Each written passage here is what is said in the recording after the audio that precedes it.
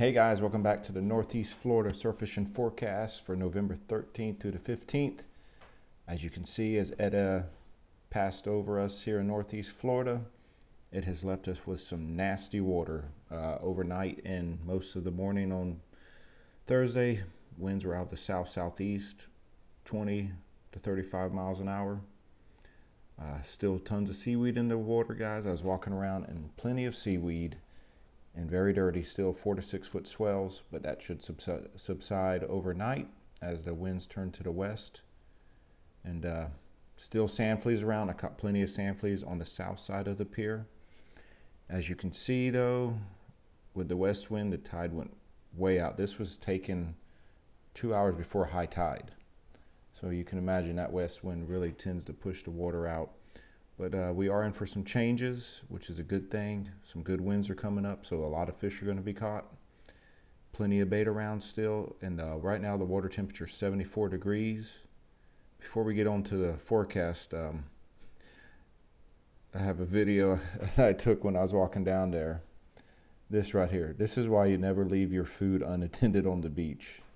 These guys absolutely destroyed these people's food. I walked down and uh, they had ripped open everything. There was a pack of meat that was eaten too. It doesn't take them long. Yeah, those those birds ate that poor guy's food, and uh, what can you say? But that's how it goes. Um, the next few days, you got on Friday we have winds west early in the morning, light, switching over to the north northeast at 5 to 10. Then on Saturday, northeast 10 to 12, and then on Sunday if it holds up, I saw uh, west northwest 5 to 10.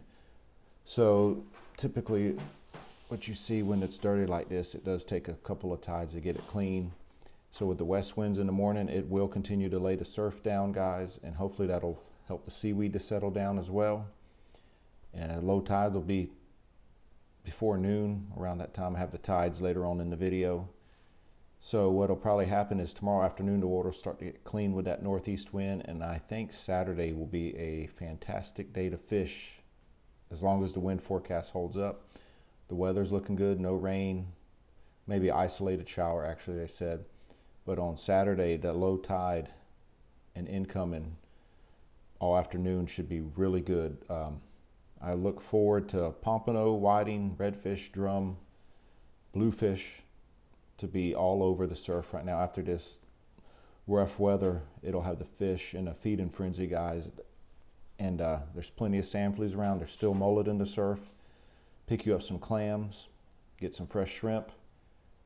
You can pretty much target what you want right now. There are plenty of whiting to be caught, and I think Saturday and Sunday will be two prime days for it. Then you look ahead to next week, it's going to get a little bit colder with some colder night temps. So those pompano that are still up in the Carolinas, they're going to be making their exit quite fast now. I have a friend up there, Carolinas right now. He has been catching some stud pompano the last few weeks, and I think that's about to come to an end for him. So he's going to have to come down here and visit us. But uh, low tide seems to be the best still, guys.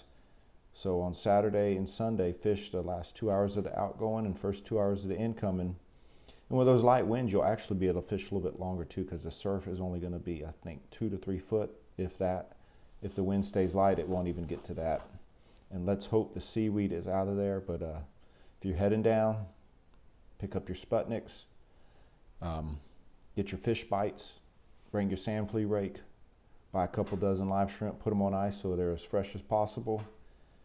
Like I said, plenty of whiting are to be caught and this is pretty much all of northeast Florida right now. The inlets will be good too. There's been a lot of pompano caught up in uh, the Nassau Sound area. Um, a lot of drum in the Nassau Sound area along with redfish and flounder. Further south you got the Vilano Rocks. There's redfish there.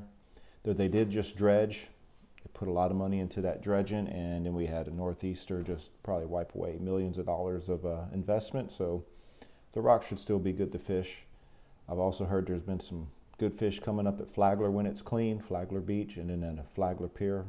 Sheephead, drum, flounder, reds all over that pier. So there's a few different things you can do. It's going to be a really nice weekend and the beach should be fabulous. As the water cools down too, you're going to have a lot less swimmers to have to deal with. The fair weather swimmers, I call them. When it, the water has a little bit of a nip to it when you get in it. When it stings a little bit, that's when you know it's time to catch a lot of whiting and pompano. So hopefully, hopefully everyone is able to get out this weekend and tear them up and uh, get back to me with some reports.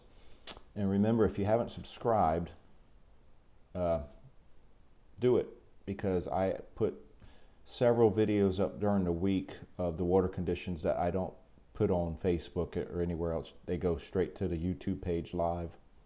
And so if you're subscribed, you'll be able to see it and check out the current conditions. With that being said, guys, tight lines and have a great weekend.